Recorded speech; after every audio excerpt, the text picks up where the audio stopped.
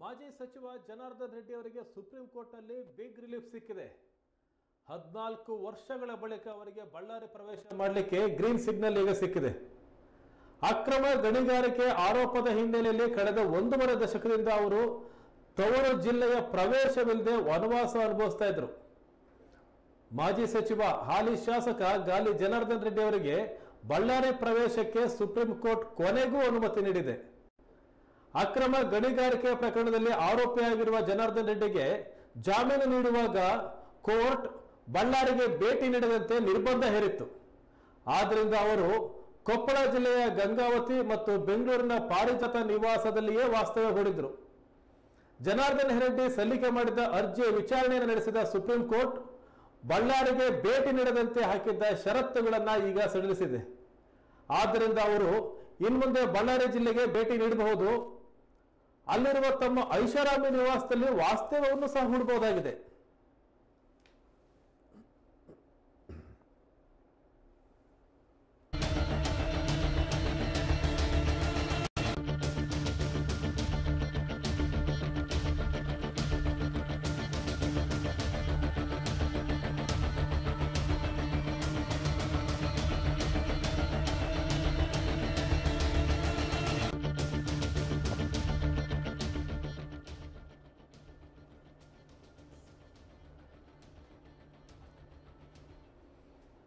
BJP ಆಡಳಿತದಲ್ಲಿ ಇದ್ದಂತಹ ಸಂದರ್ಭದಲ್ಲಿ ಸಮ್ಮಿಶ್ರ ಸರ್ಕಾರ ರಚನೆ ಮಾಡಿದಂತ ಸಂದರ್ಭದಲ್ಲಿ ಜನಾರ್ದನ್ ರೆಡ್ಡಿ ಅವರದ್ದು ಬಹಳ ದೊಡ್ಡ ಹೆಸರು.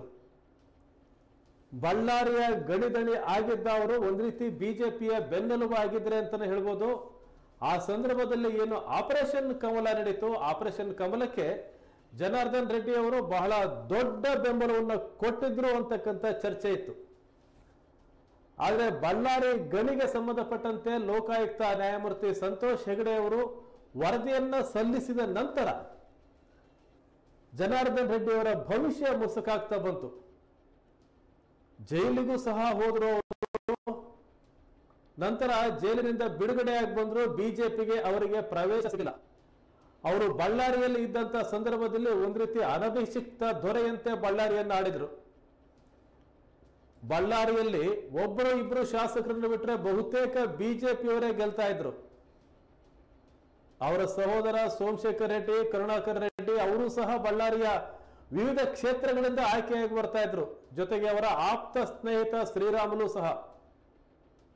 ನಂತರದ ದಿನಗಳಲ್ಲಿ ಜನಾರ್ದನ್ ರೆಡ್ಡಿ ಹಾಗೂ ಶ್ರೀರಾಮುಲು ಅವರ ನಡುವೆ ಸ್ನೇಹ ಹಳಿಸ್ತಾ ಬಂತು. ಅವರ ಸಹೋದರರು ಸಹ ಅವರಿಂದ ಅಂತರವನ್ನ ಕಾಯ್ದುಕೊಂಡು ಬಂದರು. ಕರುಣಾಕರ್ ರೆಡ್ಡಿ ಅವರಂತೂ ಜನಾರ್ದನ್ ರೆಡ್ಡಿ ಅವರಿಂದ ಬಹಳ ದೊಡ್ಡ ಅಂತರವನ್ನೇ ಕಾಯ್ದುಕೊಂಡು ಬಂದರು. ಹೊರಪಳ್ಳಿ ಕ್ಷೇತ್ರದಿಂದ ಆಯ್ಕೆಯಾಗಿ ಬರ್ತಾ ಇದ್ರು ಅವರ ಸಹೋದರ.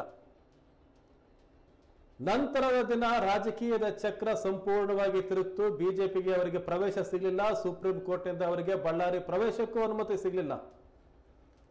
ತಮ್ಮ ಕಾರ್ಯಕ್ಷೇತ್ರವಾಗಿದ್ದ ಬಳ್ಳಾರಿಯಲ್ಲಿ ಅವರು ನಿಲ್ಲಕ್ಕೆ ಆಗಲಿಲ್ಲ, ಸ್ಪರ್ಧೆ ಮಾಡಲಿಕ್ಕೆ ಆಗಲಿಲ್ಲ, ಯಾವ ಚಟುವಟಿಕೆಯನ್ನು ಮಾಡ್ಲಿಕ್ಕೆ ಆಗಲಿಲ್ಲ.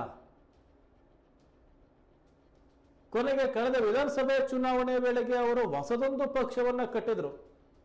ಗಂಗಾವತಿ ಕ್ಷೇತ್ರದಿಂದ ಸ್ಪರ್ಧೆ ಮಾಡಿದ್ರು, ಬಳ್ಳಾರಿಯ ಗಡಿಗೆ ಅಂಟಿಕೊಂಡೇ ಇರತಕ್ಕಂಥ ಕ್ಷೇತ್ರ ಇದು. ಆದರೆ ಬಳ್ಳಾರಿಗೆ ಜನಾರ್ದನ್ ರೆಡ್ಡಿ ಅವರಿಗೆ ಪ್ರವೇಶ ಸಿಗಲಿಲ್ಲ. ಅವರ ಪತ್ನಿ ಅರುಣಾ ಅವರನ್ನ ಬಳ್ಳಾರಿ ಕ್ಷೇತ್ರದಿಂದ ಕಣಕ್ಕಿಳಿಸಿದ್ರು ತಮ್ಮ ಹೊಸ ಪಕ್ಷದಿಂದ, ಅವರು ಗೆಲ್ಲಿಲ್ಲ. ಆದರೆ ಜನಾರ್ದನ್ ರೆಡ್ಡಿ ಅವರು ಗೆದ್ರು. ಈಗ ಚಕ್ರ ಮತ್ತೊಂದು ಸುತ್ತನ್ನ ಮುಗಿಸಿದೆ. ಸುಪ್ರೀಂ ಕೋರ್ಟ್ ಈಗ ಜನಾರ್ದನ ರೆಡ್ಡಿ ಅವರಿಗೆ ಬಳ್ಳಾರಿ ಪ್ರವೇಶಕ್ಕೆ ಅನುಮತಿಯನ್ನು ಕೊಟ್ಟಿದೆ.